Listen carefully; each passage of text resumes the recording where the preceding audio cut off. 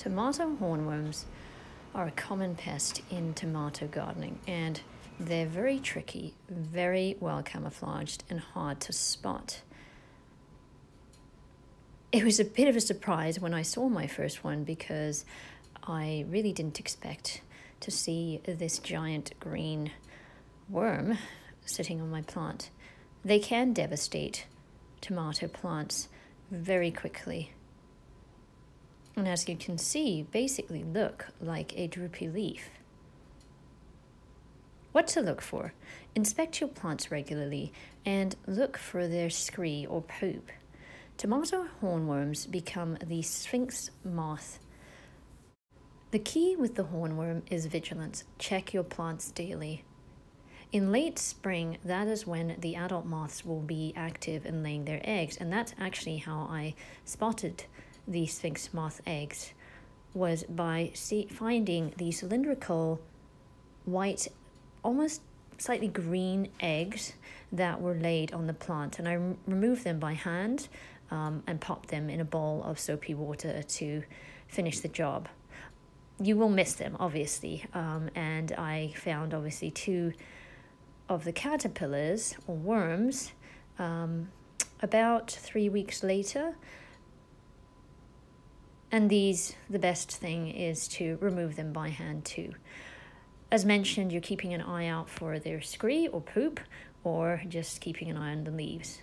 Um, so I removed it with a towel. They're very sticky, I think probably, um, and actually the next time I remove the second one, the easiest thing is just to cut the leaf that they're on and, and take the leaf. Um, in this case, I, I used a, a paper towel to remove him, and he was reluctant to come off. And if you don't like squishy, crawly things, probably not the best way to remove it.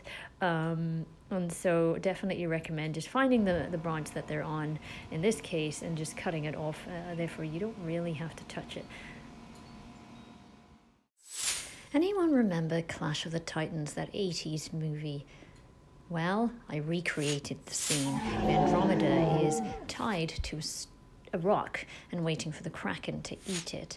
In this case, my kraken was a lovely little robin, and there's a bit of a backstory to that, which I'll go into. But I put my hornworm on a dead stump that we have at the bottom of our garden and waited for my kraken slash robin to come and visit, which he did, and goodbye, hornworm.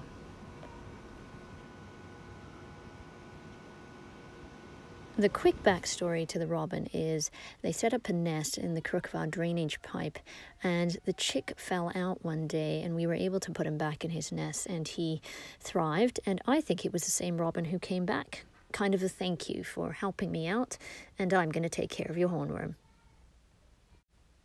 So finally, three main ways that you can deal with hornworms organically, remove them by hand. A Bacillus thuringiensis, really hard to pronounce, BT insecticide, which is hard to find, but you can find it in um, an online uh, website or maybe a local gardening store. I haven't tried that. And also companion planting. Again, I haven't tried that. Uh, the hand removal was the easiest at the time and uh, certainly something that worked. Thanks again. Enjoy gardening.